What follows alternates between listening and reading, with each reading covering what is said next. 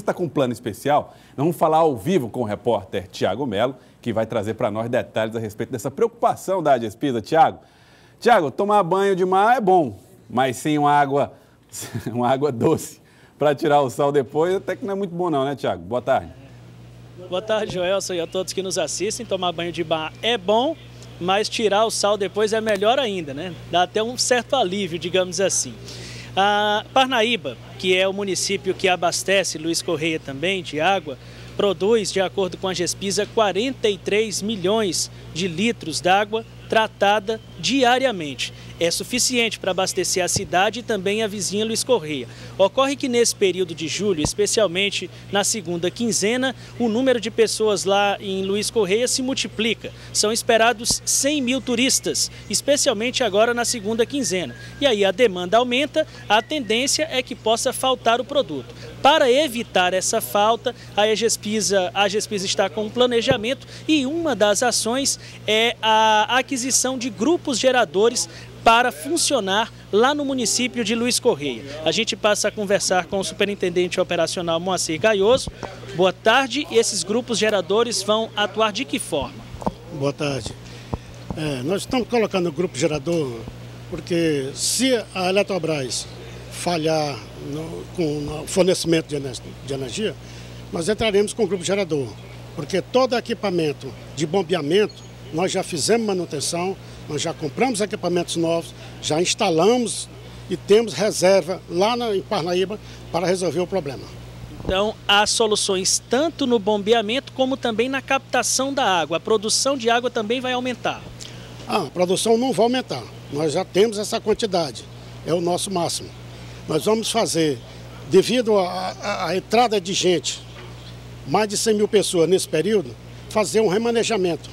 Certo? Então, quem tiver em sua casa um reservatório de mil litros ou 1.500 litros, não vai deixar de ter água em sua residência, porque nós vamos bombear água 24 horas por dia e fazer as manobras necessárias para jogar água em um lugar ou no outro.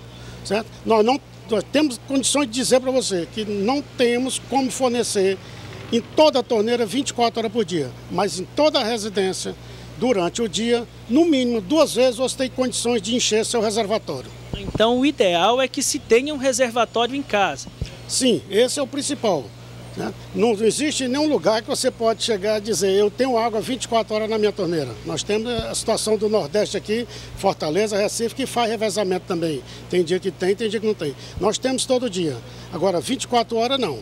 Mas nós vamos fazer esse sistema de rodízio para você ter em sua residência água no mínimo duas vezes por dia para encher seu reservatório. Fora de Luiz Correia, Barra Grande, por exemplo, o que está sendo feito? Barra Grande nós temos uma bateria de poços, onde nós temos equipamento reserva. Todos estão funcionando e foram dados manutenção.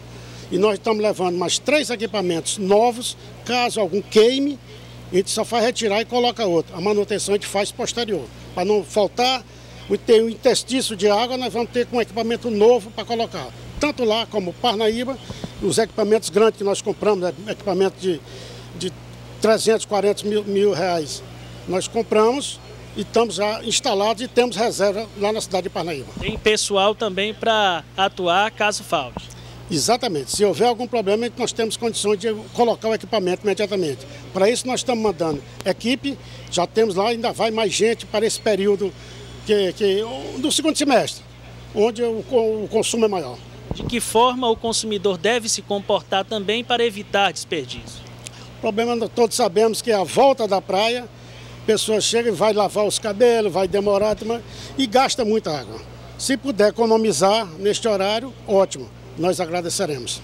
Muito obrigado ao Moacir Gaioso, superintendente operacional da GESPISA, pelas informações. Lembrando que a companhia disponibiliza um número de telefone 0800 para caso o consumidor fique sem água, entrar em contato para a solução do problema. O número é o 0800 086 8888. Joelson arrumar as malas, coloca no carro que vai ter água lá no litoral para você também. Um abraço, Thiago. Olha.